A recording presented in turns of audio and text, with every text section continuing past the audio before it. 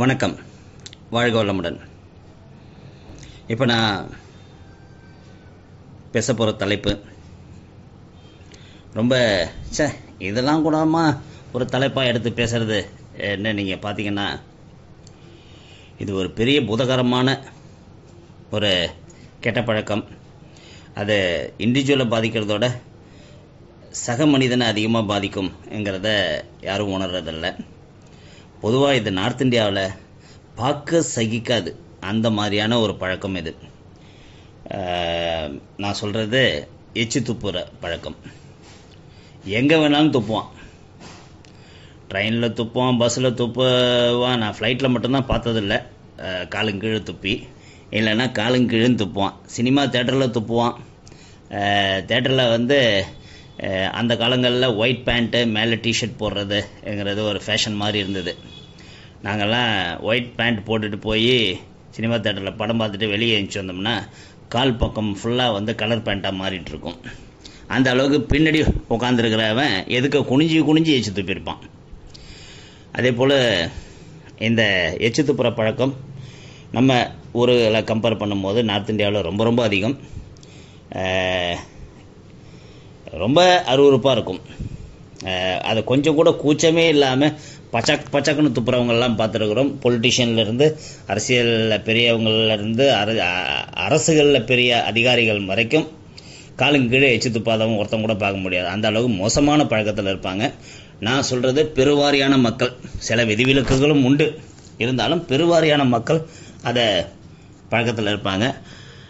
அது தவறுன்னு எடுத்து சொல்லக்கூடிய அந்த தவறு செய்யாத மக்கள் அதை சாதாரண ஒரு பழக்கமாக பார்க்குறது தான் மிகப்பெரிய தவறு.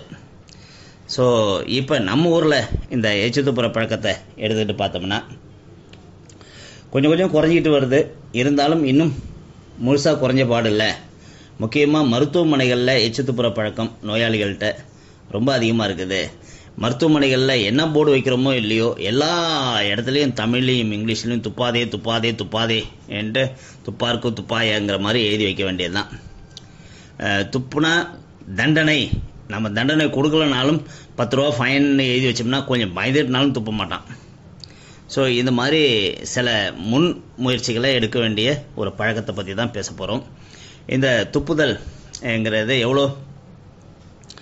நோயை பரப்பும் ங்கிறத பார்த்தோம்னா எச்சிலை கண்ட இடங்களில் துப்புவதால் சாதாரணமான சளி ரெசிபிரேட்டரி சிஸ்டத்தில் வைரஸ் நோய்கள் பன்றி காய்ச்சல் காச நோய் நிமோனியான்னு சொல்லக்கூடிய ரெசிபிரேட்டரி சம்மந்தப்பட்ட அனைத்து நோய்களும் பரவக்கூடிய வழிவகை இந்த எச்சு துப்புற பழக்கத்தினால வருதுன்னு சொல்கிறாங்க இந்த மட்டும் இல்லாமல் ஹெப்படைட்டிஸ் பி வைரஸ் எச்சில் துப்புவதன் மூலமாக பரவுகிறது. மூளை காய்ச்சல் பரப்பும் வைரஸ் எச்சில் துப்புறதுனால பரவுது.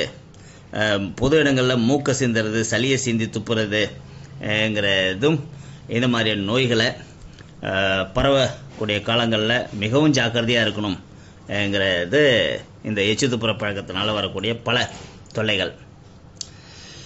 சரி இந்த எச்சிலிருந்து எப்படி இந்த நோய் பரவுதுன்னு பார்த்தோம்னா துப்பும்போது காற்றில் பறக்கும் நோய்கள் நோய் கிருமிகள். மற்றவர்களின் சுவாச காற்றில் கலந்து அவர்களுக்கு நோயை பரப்பும். அதை தொட்டாதான் தப்புன்னு கிடையாது. அது நம்ம ஸ்ப்ளிட் பண்ணும்போது அது காற்றுல பரவும் போது அந்த காற்றுல அந்த கண்ணுக்கு தெரியாத வைரஸ் காற்றுலேயே கலந்து மற்றவன் சுவாசிக்கும் போது அவனுக்கு தொல்லை உண்டாக்குது. அவன் துப்புன இடத்துல போய் தான் நம்ம கையை வைக்கிறோன்னு இல்லை. காற்றுலேயே கலந்து வருதுங்கிறது தான் இங்கே நம்ம குறிப்பாக உணரணும். எச்சில் மற்றும் சளி போன்றவை உணவு அல்லது பானங்களின் மீது படியும் போது அவற்றை சாப்பிடுகிறவர்களுக்கு நோய் பரவும். காசநோய் கொண்ட ஒருவர் தும்மினாலோ இருமினாலோ வெளிவரும் கிருமிகள். காற்றில் பல மணி நேரம் நோய் தொற்றும் திறனுடன் மிதக்கும். வறண்டு போன சளியில் ஆறு மாதங்கள் வரை கூட காசநோய் கிருமிகள் நோய் பரப்பும் திறனோடு இருக்கும். வாயில் இருக்கும் நோய் பரப்பும் கிருமிகள் தங்கள் மேல் வெப்பத்தால் பாதிக்கப்படாத அளவுக்கு ஒரு உரை போன்ற மேற்போர்வை ஒன்றை உருவாக்கி அதற்குள் பதுங்கி இருக்கும் தெருவில் துப்பம் போடும்போது அவை வெயிலால் எளிதில் செயலிழக்காது இருமும் போதும் தும்மும் போதும் கோடிக்கணக்கான பாக்டீரியா வெளிப்படுகிறது. அதனால் கைக்குட்டையால் வாயை மூக்கையும் மறைத்து கொண்டு தும்முவதும் இருமுவதும் கிருமிகள் பரவுவதை ஓரளவு கட்டுப்படுத்தும். பெற்றோரை பார்த்தே பல குழந்தைகளும் பொது இடங்களில் எச்சில் துப்பும் பழக்கத்துக்கு ஆளாகிறார்கள். அதனால் குழந்தைங்களுக்கு நம்ம ஒரு ரோல் மாடலாக இருக்கணும். எதிர்கால சந்ததிகளுக்கு இதெல்லாம் குட் ஹேபிட் பேட் ஹேபிட்னு சொல்லிக் கொடுக்கும்போது இது பேட் ஹேபிட்டுங்கிறத அழுத்தம் திருத்தமாக சொல்லிக் கொடுக்கணும். இதை செய்கிறவங்கள நம்ம கீழ்த்தரமாக பார்ப்பாங்க. நம்மளோட சோஷியல் ஸ்டேட்டஸ் குறைஞ்சி போகும். அருவறுப்பாக பார்ப்பாங்கங்கிறத எடுத்து சொல்லணும். ஸோ அந்த மாதிரி எதிர்கால சந்ததிகளை வளர்க்கும் போது மட்டும்தான் இந்த மாதிரியான பழக்கங்களை வழக்கொழிக்க முடியும். பொது இடங்களில் எச்சில் துப்புவதிலிருந்து குழந்தைகளை பாதுகாக்க என்னெல்லாம் பண்ணலாம்? என்ன? காலணிகளை அடிப்புறத்தை கைகளால் தொடக்கூடாது. தின்பண்டங்கள் ஏதேனும் தரையில் விழுந்துவிட்டால் எடுத்து சாப்பிடக்கூடாது. காய்கறி பழங்களையே கழுவிட்ட பிறகே சாப்பிட வேண்டும்.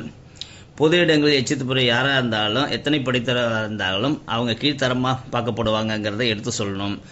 இது இல்லாமல் பொது இடங்கள்னு சொல்லக்கூடிய பேருந்து நிலையங்கள் ஹாஸ்பிட்டல்ஸ் ரயில் நிலையங்கள் இந்த மாதிரி இடங்களில் அதை சுற்றி பக்கத்து பக்கத்தில் நெருக்கமாக இருக்க உணவகங்களில் உணவு சாப்பிடுவதை தவிர்த்து கொஞ்சம் தூரம் நடந்து போயினாலும் கொஞ்சம் ஹைஜீனிக்காக இருக்கிற ஹோட்டலில் சாப்பிட்றது. ஏன்னா இந்த பொது இடங்கள்னு நான் சொன்ன இடங்களில் பார்த்தீங்கன்னா அங்கே தான் எச்சு துப்புதலோட மேக்ஸிமம் எங்கே நடக்குதுன்னா ஹாஸ்பிட்டலில் தான் நடக்குது.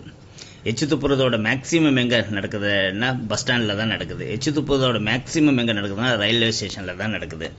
ஸோ இங்கே அந்த எச்சு துப்புதால் பரவக்கூடிய நோய்கள் தாக்கம் அதிகமாக இருக்குதுங்கிறதுனால அந்த ஏரியாவில் இருக்கிற கடைகளில் விற்கும் பொருள்களை கண்டிப்பாக குழந்தைங்களுக்கு வாங்கி கொடுக்காதீங்க.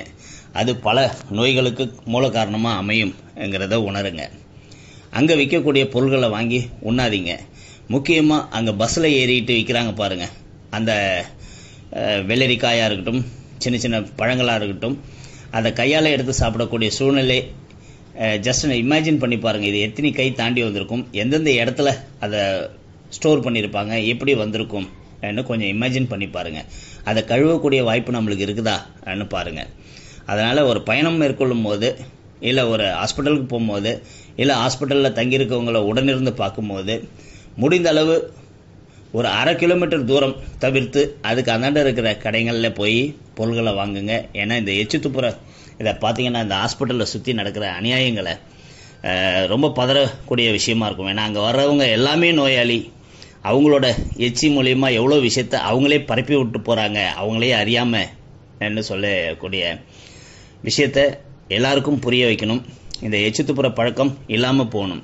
சரி இந்த எச்சி ஏன் துப்புறாங்க? ஏன்னா அது பை ஹேபிட்ங்கிறத தாண்டி சில பேருக்கு அது ஒரு வியாதியாக கூட இருக்கும். ஓவர் சக்கரேஷன் ஆஃப் சலைவா அப்போ இந்த ஓவர் சக்ரேஷன் சலைவாங்கிறது ஒரு நோயாக இருந்தால் அதை தீர்த்துக்கிட்டா தானே இந்த பழக்கமே போகும். அப்போ அதுக்கு என்ன பண்ணலாம்? ஏன்னா ஹோமியோபதியில் உங்களுக்கு உதவக்கூடிய மருந்துகள். Merc sol nitric acid nux vom pulsatilla rhus tox iris dulcamara digitalis என்று சொல்லி பல மருந்துகள். அதீத உமிழ்நீர் சுரப்புங்கிற விஷயத்தை தடுத்து உங்களை எச்சு துப்புறதுலேருந்து கொஞ்சம் நாளும் காத்தருளும்.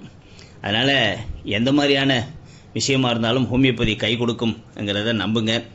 வாழ்க வளமுடன் வாழ்க நலமுடன். எதிர்கால சந்ததிகளுக்கு நல்ல பழக்கங்களை சொல்லிக் கொடுத்து எதிர்கால சந்ததிகள் இந்த மாதிரி எச்சு துப்புற கல்ச்சர் இல்லாமல் ஒரு ஜஸ்ட்டு கொஞ்சம் அப்படியே மணக்கண் மூண ஒரு விஷயங்களை ஓட்டி பாருங்கள் நம்ம சிங்கப்பூருங்கிறோம் மலேசியாங்கிறோம் ஜப்பானுங்கிறோம். ஆனால் அவங்கள பார்த்து எலக்ட்ரானிக்ஸ் காப்பி அடிக்கிறோம் மற்ற கோட் ஷூட்டு போடுறோமே தவிர கோட் ஷூட்டு போட்டவங்க கூட டெல்லி மாதிரி இடத்துல போய் பாருங்கள் கார் விண்டோ கிளாஸை கீழே இறக்கிட்டு பச்சாக்குன்னு ரோட்டில் துப்புவான். எனக்கும் அந்த அனுபவம் உண்டு. என்னோடய அண்ணன் ஒருவர் சொல்லுவார் இந்த எங்கள் ரூட்டில் போகிற சில பஸ்ஸுகளோட பேரை சொல்லி நான் குறிப்பிட்டு சொல்ல விரும்பலை. சில பஸ்ஸுகளோட பேரை சொல்லி அந்த பஸ்ஸு நின்றுச்சுன்னா அது பக்கத்தில் வண்டியில் கிட்டியில் போயிடக்கூடாது. அந்த பஸ்ஸில் இருக்கிறவன் எல்லாம் வெத்தலை பார்க்க போட்டிருப்பான் வாயை பலாரும் நம்ம மேலே தலையில் துப்புவான்ட்டு. அதையும் தாண்டி நான் நேரடியாகவே அனுபவிச்சிருக்கிறேன். ஒருத்தரை ஒயிட் ஷர்ட் போட்டு போகும்போது ஒரு பஸ்ஸோட சைடில் சைடு வாங்கும்போது ஒரு அம்மா பச்சாக்குன்னு எச்சு துப்புனாங்க வெள்ளை சட்டையில். அப்புறம் பார்த்தோன்னே திரும்பி பார்த்தோன்னே கை எடுத்து கும்பிட்றாங்க.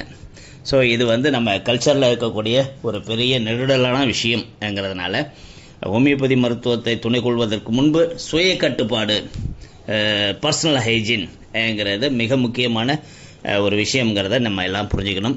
வாழ்க வளமுடன் வாழ்க நலமுடன். இந்த மாதிரியான ஹெல்த் ரிலேட்டட் பதிவுகள் தொடர்ந்து உங்களுக்கு கிடைப்பதற்கு Pondicherry homeo learning forum YouTube சேனலை சப்ஸ்கிரைப் பண்ணுங்கள் கமெண்ட் பண்ணுங்கள் லைக் பண்ணுங்கள் உங்கள் நண்பர்கள் உறவினர்களுக்கு இந்த பதிவை ஷேர் பண்ணுங்கள் இந்த மாதிரியான ஹெல்த் ரிலேட்டட் பதிவுகள் தாங்கியுள்ள Pondicherry homeo learning forum YouTube channel ஒரு யூடியூபோட ஒரு சேனல் மட்டும் இல்லை ஹெல்த்துக்காக இயங்கும் இ லைப்ரரி என்பதை அனைவருக்கும் தெரியப்படுத்துங்கள். வாழ்க வளமுடன் வாழ்க நலமுடன்.